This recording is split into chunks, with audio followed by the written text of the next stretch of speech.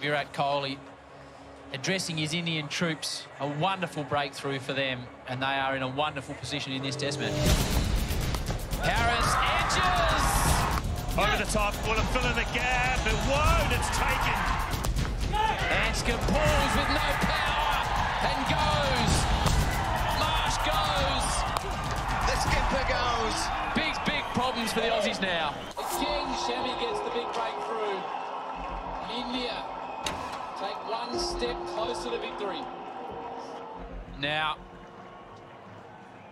the job is handed over to the bowlers. The truth is, it's not the bowler's job to get the runs, it's the batter's job. India one wicket away a victory in the first test of the summer. Much more pressure batting because with the ball in hand, I'm very confident with the, my skill set to get the job done against anyone in the world. Where I've struggled with belief with the bat. And it hits Nathan Lyon. Yeah, I'm going to get ducks here and there playing against good bowlers. But if I can play my role, I can get to five, get to 10, get to 15, and just tick it off slowly and, and try and enjoy it as well.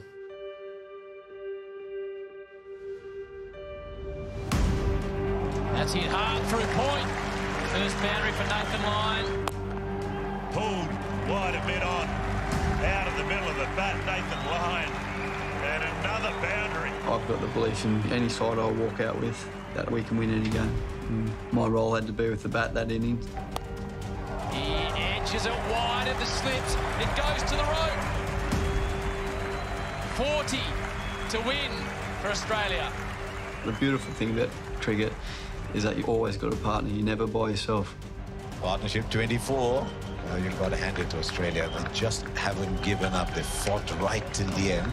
You really see the panic start to set in on the other team. You forget that as a bowler going out there and batting that, you know, if I actually get a few runs here, they'll start to panic because they're expecting to get me out pretty cheaply. Oh, and that will go all the way down to the rope off the bat of Josh Hazlewood.